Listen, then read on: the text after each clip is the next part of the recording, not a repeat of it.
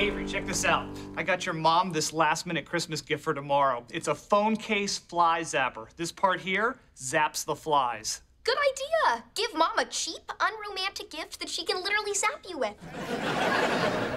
Plus, knowing your mother, she'd hold it backwards and zap herself. Ow! Oh! Oh, this is a really bad invention. Who would buy this?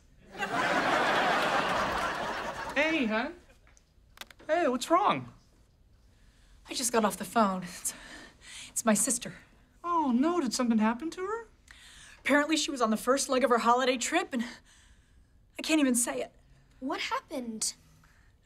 Her connecting flight to Hawaii has been delayed six hours, so she wants to come visit.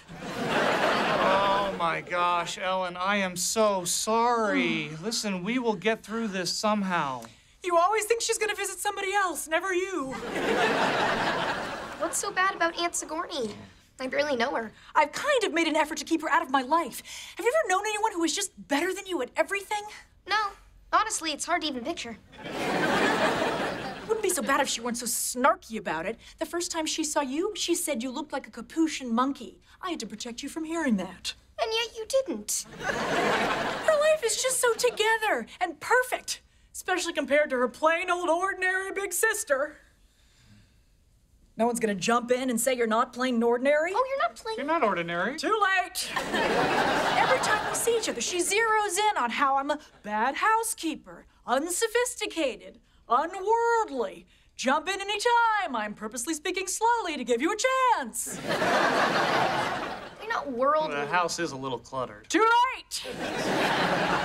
The point is, she picks on everything that's wrong with me until I cry. It's like a sport to her, and making me cry is how she wins. And now she'll be visiting us, and that leaves me one option. That's right. You can resolve that this year you are not going to let her get to you. You're going to be proud of your life and who you are. Okay, I have two options. And yours is probably setting a better example than jumping in the car and driving till I run out of gas. Watch Dog with a Blog on Disney Channel.